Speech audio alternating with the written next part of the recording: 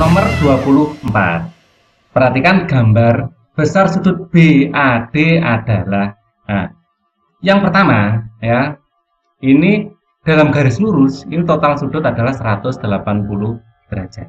Ya, jadi kalau ini 120, ini sama dengan 60 sehingga 60 tambah 20 adalah 180. Yang pertama.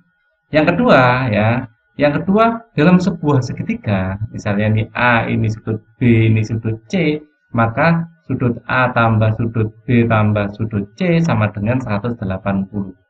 Nah, jadi ini adalah sudut A ya, DAB.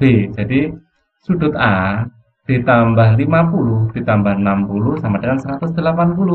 Nah, sudut A tambah 110 sama dengan 180. Artinya sudut A sama dengan 180 dikurangi 110 ya sama dengan 70.